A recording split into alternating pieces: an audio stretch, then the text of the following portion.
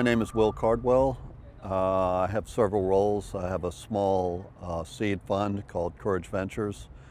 We also do some consulting, and I'm a professor of finance at University of North Carolina. I've looked at the startup angle from every different possible perspective, from an investor, from an entrepreneur, from a researcher, from a teacher. And I think that's what's different about me is I've really sat on pretty much every side of the table. Like I mentioned, I've, I've been part of 48 different companies over the 15 years, so that's a lot of different angles. Some of them have succeeded, some have failed.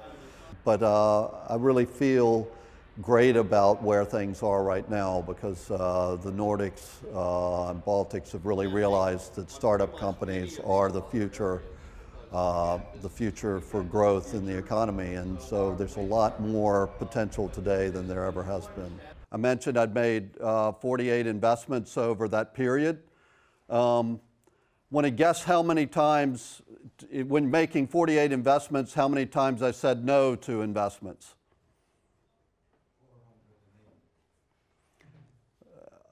Uh, more like 1,480. But it's about, about, about 3% of the cases that I've seen, and I think this is normal across most investors, actually end up uh, ending up in an investment. Startup Passion, it's, uh, it's a program to support uh, a few of the highest potential student teams in Finland, Estonia, and La Latvia, and work with these teams for several different uh, programs or sorry, different periods and help them develop their business idea, business concept, business model, uh, and hope we can help them turn into great companies. Good entrepreneur is always pitching their idea in different ways so they can look in the eyes of the customer or the investor or the partner and kind of see what are their kind of hot buttons, what are they, what are they excited about, and then kind of twist their pitch a little bit in that direction. Um, so I think good, successful uh, entrepreneurs who raise money are able to kind of identify the message that the um, uh, investors will believe in.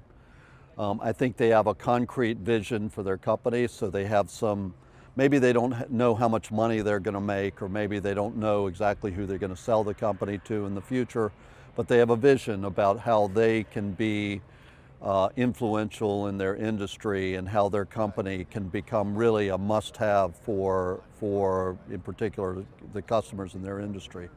So I think, um, I think to me, the, the entrepreneurship is so much about being able to assess the situation you're in and, and get your message right. I absolutely believe in cross-border teams. So all, all countries, like in this case, Latvia, Estonia, Finland, they have some similarities, but obviously, obviously cultural differences. I think the best companies are the ones that uh, are able to have different uh, perspectives and um, so I think the ones that will be successful in the future are the ones that are going across borders. Well, I think it's very easy to start a startup. Uh, the problem is to how to how to make them successful, and I think um, you have to realize that there's certain things you can control and certain things you can't. So every startup needs, you know, good execution to do things the right way, but then they need a little bit of luck along the way. So I would say the things you can control is, I mean, one of the problems is, is a, uh, a lot of entrepreneurs are so fixed on their own idea that they can't uh, see other perspectives, which is why we, we coach them. To try to give them different ways, out of the box ways to look at their area. Um, I think another one is, you know, come, a lot of times entrepreneurs come really too much from the product side rather than the market side. So the key is, you know, it's okay to have a great product, but you know, do you have a way of getting them out to the big market where people are willing to buy? And um, so we see a lot of entrepreneurs that go way too far in developing a product and uh, turns out that it's not the right one for the market. So we like to help them listen to the market very quickly. That's one another of the coach's role, to get them out there talking to customers.